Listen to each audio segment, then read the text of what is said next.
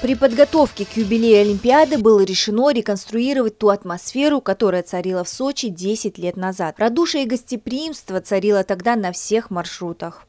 Сегодня гостей курорта, так же, как и 10 лет назад, встречают сочинские волонтеры. Специально для них шили форму, очень похожую на ту, в которой они работали в 2014 году. Встречают гостей и ростовые куклы, олимпийские талисманы и городские творческие коллективы. Хотели же, чтобы это было как атмосфера, как в Олимпиаду. Вообще получилось ли вот эту вот атмосферу? Это только начало, и вы знаете, да, получилось. Уже получилось. Вчера был первый день вы не представляете, люди все снимали на видео, э, прям фотографировались. Это и, и сами мы получали тоже такое удовольствие от этого. Ну, это приятно, приятно делать приятное.